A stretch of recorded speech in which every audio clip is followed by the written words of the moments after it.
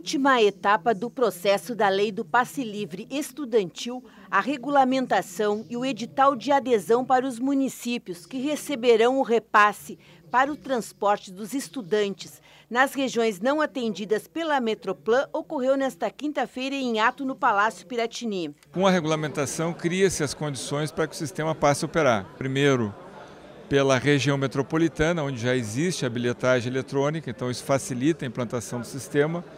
A nossa ideia que a partir dos critérios estabelecidos, nós vamos lançar um edital para que os municípios se habilitem, a partir dessa habilitação possa acessar os recursos. Né? Aqueles que se cadastrarem ainda dentro desse mês poderão ter acesso esse ano aos recursos. Né? Então tem um prazo exíguo para que as pessoas, que as prefeituras façam a tramitação para se, para se habilitar para esse ano. Se não, só a partir do ano que vem Pioneira no país, a lei do passe livre foi proposta pelo governo do Rio Grande do Sul a partir das demandas apresentadas pela população durante as manifestações de junho e foi construída de forma conjunta com movimentos sociais e estudantis. O ambiente democrático que se criou, de diálogo, foi fundamental para isso.